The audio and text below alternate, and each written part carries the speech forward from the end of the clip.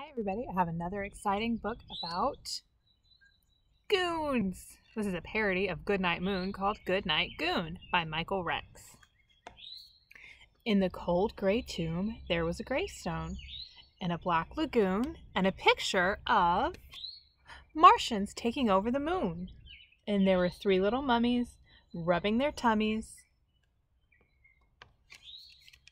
and two hairy claws and a set of jaws and a loud screechy bat and a black hat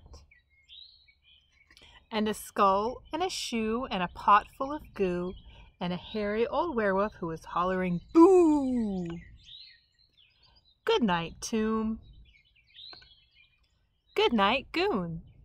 Good night martians taking over the moon. Good night bones and the black lagoon. Good night mummies. Good night tummies. Good night claws and good night jaws. Good night moans and good night groans. Good night screechy bat and good night hat. Good night skull and good night shoe. Good night creature, good night goo.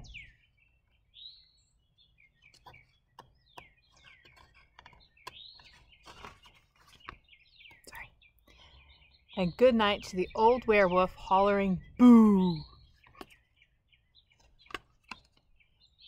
Good night, you. Get under there. Good night, monsters everywhere.